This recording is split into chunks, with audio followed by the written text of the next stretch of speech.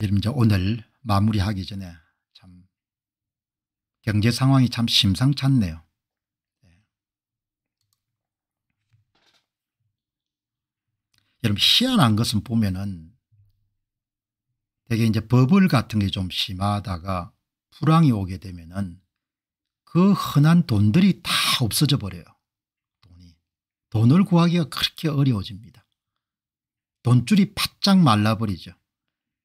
특히 이제 버블이 좀 심했다가 불황이 굉장히 깊어지게 되면은 지금 상황도 마찬가지로 아직은 본격화 안 됐는데 그러니까 2000년대의 닷컴 위기라든지 2008년대 글로벌 금융위기라든지 이때도 마찬가지인데 깊은 불황이 오면 은 갑자기 돈줄이 말라버린 거죠.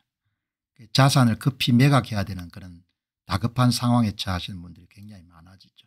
오늘 매일경제를 보다가 어, 현장 취재를 참 잘한 기자들이 있네요. 그게 75만 명이 몰렸던 이 회사의 모든 직원을 권고사직 통보하는 일이 있어났다. 예. 지금 이제 한참 초기 투자를 받아가지고 수익성은 확실하지 않지만 미래의 성장 가능성이라는 이런 부분에 대해서 비중을 두고 성장하는 스타트업 기업들이 갖고 있는 어려움이네요. 전 세계적으로 스타트업에 대한 투자는 각국의 금리 인상 기조, 인플레이션 공포, 경기 침체 우려, 기술주 주가 폭락 등이 맞물리면서 아주 급감했는데 예, 실리콘밸리를 중심으로 지난해 11월부터 감지됐는데 3개월의 시차를 두고 국내 스타트업 업계로 옮겨 붙고 있다. 예, 많이 망하겠네요. 예, 여기 보니까 전문가들은 아직 제대로 시작도 안 했다. 그래서 이제 어제도 일부 대기업들을 중심으로 해서 이제 자산을 매각해 가지고 현금을 확보하는 그런 움직임을 말씀을 드렸지 않습니까 같은 차원으로 이해할 수 있는 거죠. 예. 저는 사용을 안 해봤습니다만 이게 수산물 당일 배송 서비스인 오늘회라는 그런 아주 성장세가 빨랐던 기업들이 있었는데 이게 이제 누적 매출액이 131억 4천만 원 정도를 기록하고 2016년에 창업이 됐는데 40억 규모 대금을 지급하지 못해 가지고 전 직원들에게 권고사직을 취하는 예. 그 수익성 모델이 확실하지 않고 미래의 가능성을 가지고 이런 투자를 하던 그런 기업들은 많은 어려움을 겪게 되고 거기에 돈을 댔던 예, 그런 사람들도 손해가 크겠네요.